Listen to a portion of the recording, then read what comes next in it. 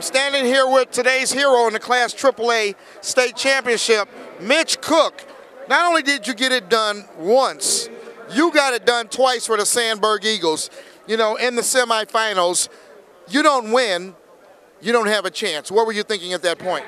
Uh, I was. There's no way I was gonna lose. You know, I didn't. I didn't wrestle my best today, but there was. I don't. know, There was just no way I was gonna let uh, that I was gonna let us lose. You know, I'm wrestling for the team here, not for myself. You know, I can't just quit. I gotta. I gotta tough it out every time.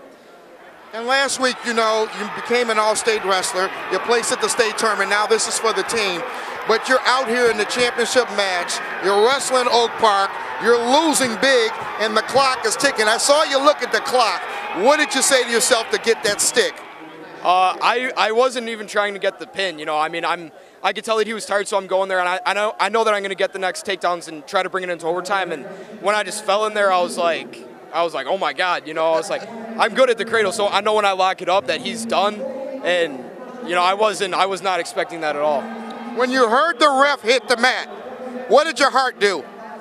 I don't I don't even remember. I was I usually I don't get very excited, and I was just I was just full of emotion. You know, I, I got up and I'm like, yes, you know, it just it felt so good. I don't even.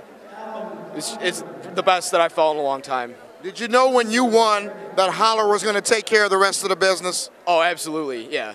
Co- Colin takes care of business every time, and there's no there's no way he's gonna lose. You know, we were actually expecting them to have Mahomes down, and because we know that we know that he's gonna come up big every time. Now Sandburg went through the best teams in AAA. I mean, and, and we, you know, we got to mention Marist. Yeah. So you bumped them off, and then earlier today with the big win, and then Oak Park River Forest. What's it feel like to know that you are a true 3A state champion, that you beat the best? I mean, that's just awesome because no one, no one could say like you know we match up better with any team rather than another one. You know, we beat we beat every team that that had a possibility of winning it. You know, it's not like you know I don't mean to rip on Oak Park, but they kind of they kind of had a walk to the finals. You know, we had to you know uh, Marist, Lockport, um, Glenbard North, and then we beat Oak Park. You know, it's not like maybe we match up well with Oak Park. We we had to beat every team. To be honest, I think you had one of the hardest roads ever to a state championship. Job well done. Congratulations. I'm going to let you go celebrate with your boys over there. Eagles get it done today. Class 3A state champions. Congratulations. Thank you.